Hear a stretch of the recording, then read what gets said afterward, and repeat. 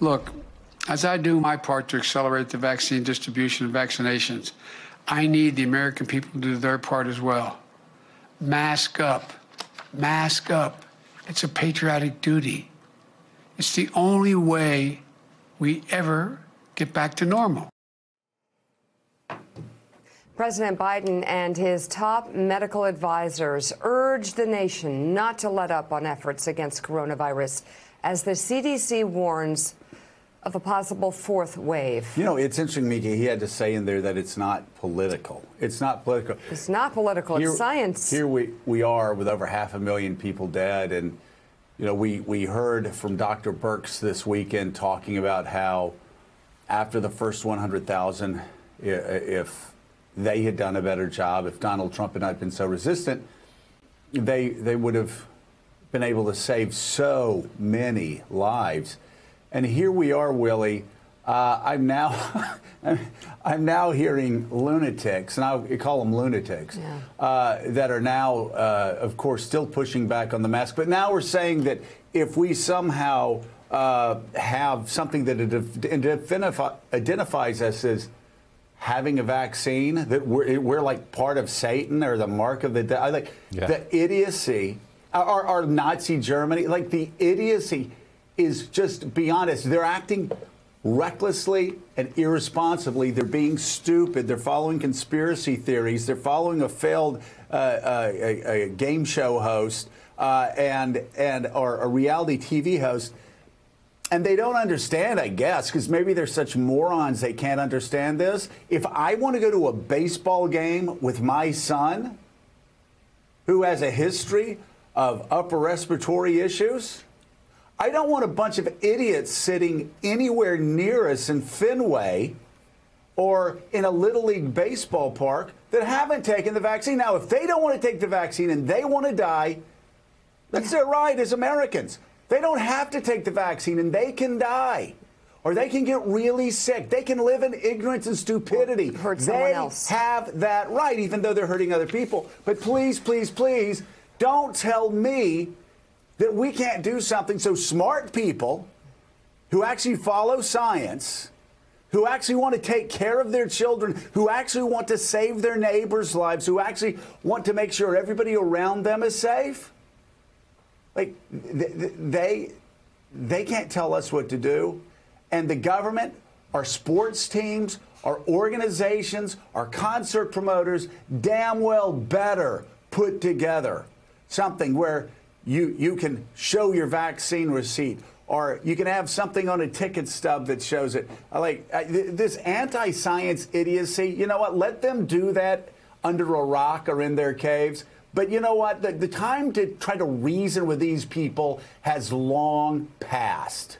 Yeah, I mean, you're right. Good morning, first of all, guys. Good to see you. It's been a couple of days. Hey. Um, yeah, Very good to see a you. lot of a lot of this thinking, this you know, anti-government strain of thinking now has seeped into this conversation about vaccines and masks, and we heard it from the CDC director Rochelle Walensky yesterday who basically dropped the pretense, dropped the formality, and said, I'm going to drop the script and I'm just going to talk to you right now and say, I have a sense of impending doom, was the term she used as the head of the CDC. She said, please continue to wear your masks. I know it feels like the end is around the corner, and actually it is, but we're not there yet.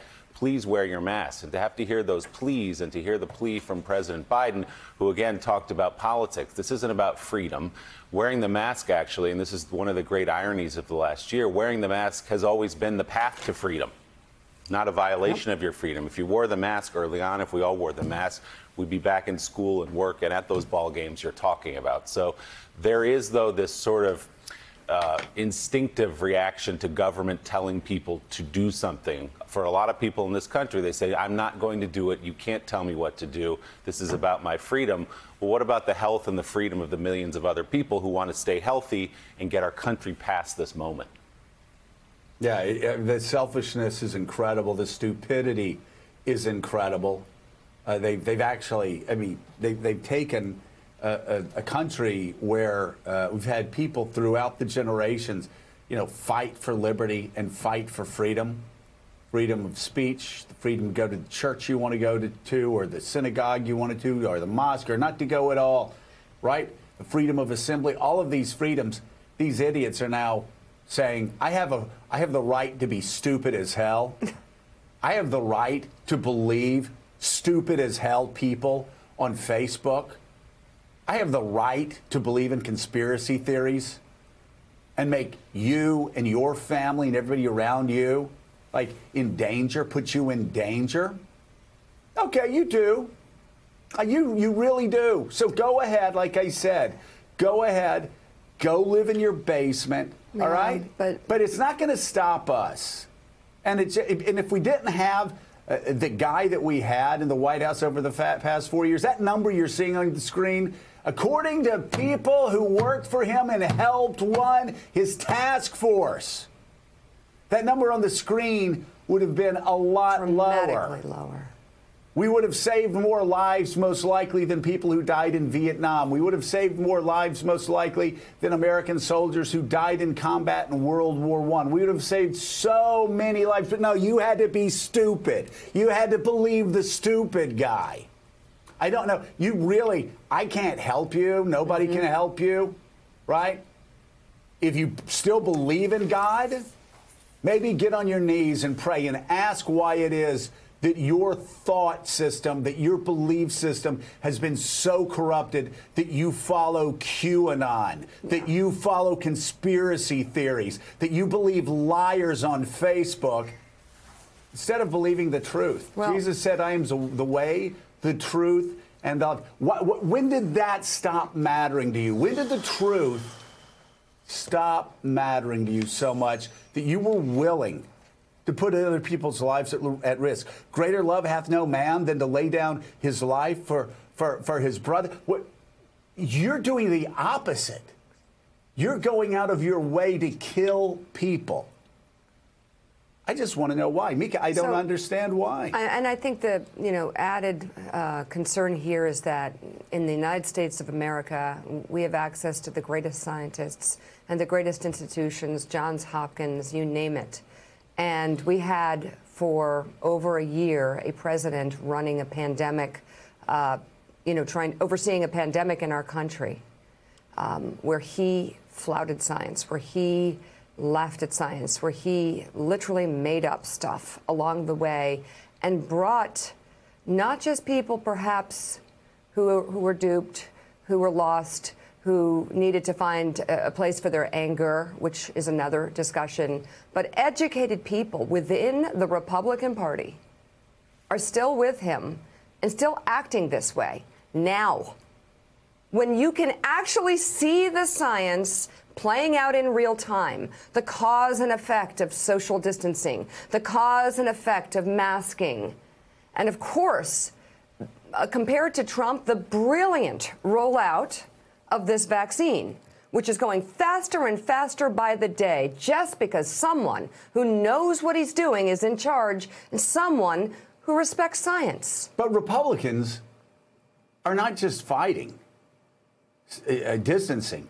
Uh, Trump, Trump supporters, people who are still in that personality cult, aren't just saying mask. Masks are no good. In fact, they spread disease. What? We, how stupid? Seriously. Come on. Come on, stay away from household appliances. Look what happened to the flu this stay year. Stay away from the blender, okay? It's you're just you're not meant for it. You're not smart enough to handle the basic not that. instructions. But it's now vaccines. They've now moved on to vaccines, and you have. You have Donald Trump uh, sending out messages, oh, vaccine, it's all because of me, the vaccine. Well, I'm not, people don't have to take the vaccine. Like half of Americans, half, half of, of Republicans who supported Donald Trump don't want to take the vaccine. Now, he's gone out a couple times and said, yeah, okay, well, yeah, Maybe. yeah, you should take the I greatest vaccine Mm. ever. I got one. No, I didn't. Yes, I did. But he's not showing any leadership. But why would he show leadership? He never has shown leadership. And instead, you have these anti science people who are, are now not only uh, uh, uh, bashing the vaccine, but are also saying, no, we, you know what? There should, we need to make sure that nobody in America knows who took the vaccine and who didn't take. Wrong. Wrong. Hey, you know what? You know what? You missed the stop. Yeah. The train left the station. Your idiocy that you and the last president together helped kill hundreds of thousands of Americans.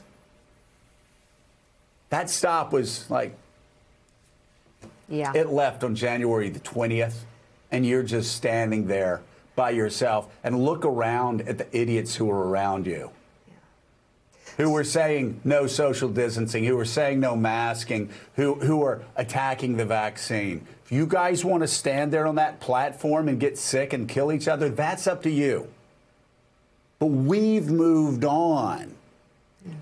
Stay out of leaders' way who want to make sure that we can once again go back to our life. We can once again take our kids to baseball games. We once again can go to concerts. We once again can get moving on with our lives by showing that we were not stupid enough to say no to a vaccine. Hey, thanks so much for watching our YouTube channel. You can follow up on today's top stories and breaking news or catch up on your favorite MSNBC shows all in one place. Download the NBC News app today.